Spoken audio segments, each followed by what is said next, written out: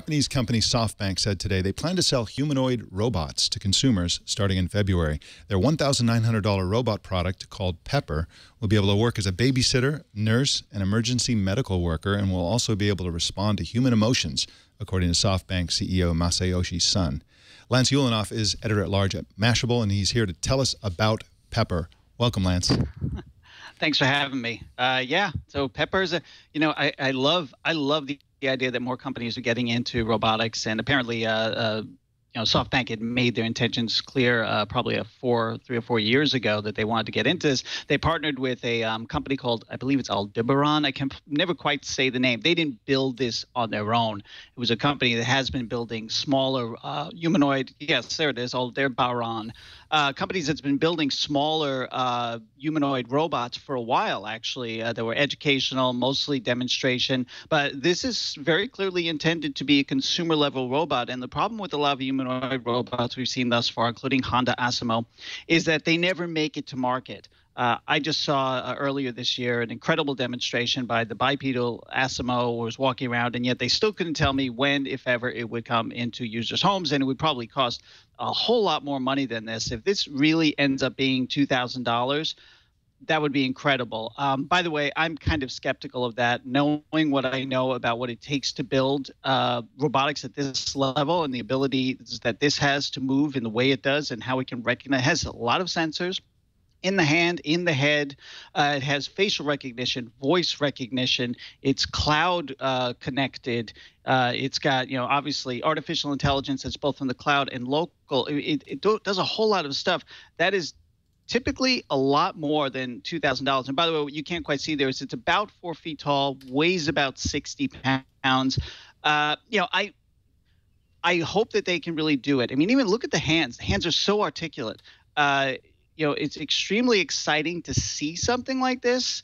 Uh, but I think everybody should take it with a grain of salt. Masayoshi Son is a, a, really interesting guy. He tends to be somewhat bombastic, kind of funny, uh, speaks off the cuff. I know he was very excited to roll this out there, but you know, let's talk in 2015 and see if these things at least appear for consumers in Japan. Which, by the way, Japan is always leading in robotics. Why? that population is aging faster than ours, and they need home health health care workers more than we do. Although we we will catch up. It looks like right now the robot is demonstrating how it can rip the heart out of somebody's body and crush it with its uh, robot hand. Now, it, it, you, you mentioned that Japan is ahead in humanoid robots. Uh, and that's lying. what makes it. that's what makes it so. It shows off to a bad start. Yeah. Uh, that's what makes it so astonishing that, that, the company is going with a French. It's a you know the the company um, uh, is a French company, so it's a, a Japanese company that's going to be selling a, a French humanoid robot. Now, uh, Lance, you're a parent. Uh, Elise, who you're a parent. I'm a parent. Would any of us trust this thing to babysit children? no, no, not, not not yet. Now, right now, you know, I have teenagers now, so I'd be glad to leave it at home. You know, so right. we can just so to say no parties, no drinking. Yeah. but yeah, to actually take care of a small child that I care about. Um, not yet. By the way, we don't even know how much weight it can hold. You know, because you have yeah. to be able to lift something if you have to a 20 pound baby. Yeah. Between this robot right. taking care of your kid and then the Google uh, driverless cars uh, that can take them, you know, to and from school and stuff. Man, what are parents going to do in the future? They're just I think gonna, like, have, live, live off the fat of the land, I guess. We're going to build robots. Actually, that sounds pretty good. What, yeah, what if I reverse it and have my robot or have my kids take care of the robot because I'm like because the robot becomes more precious. Yeah, exactly. No kidding. Yeah, that's right. It is kind of adorable. You, what you didn't hear there is the sounds that it makes. It doesn't say words, but it makes these childlike sounds. Uh, when, when, it's holding that heart, by the way, it's oh, you know, it's like making all these weird noises. You know, although I do think it would have been hysterical if it had actually ripped someone's heart out and that's what it was holding. But. now, uh, speaking of, of, of the heart, uh, they say, uh, Son says actually, that it's going to be affectionate. It'll respond to human emotion, and it has something called an emotional engine. Uh, right. What what is that about exactly? I mean, it'll actually read the emotions on people, and what it'll if it if you're if you're sad, it'll give you a hug or something. Well, it'll so it, it uses facial recognition to tell the tell the difference between a smile and a frown. Uh, vocal, you know, intonation to tell if you're happy or sad, depending on how your voice sounds. Uh, it'll have some of this local, but it will use what it learns and use the cloud to get smarter. And one of the examples that they talk about is um, reading your child a book and then after the fact telling you your child smiled while i was reading the book to him.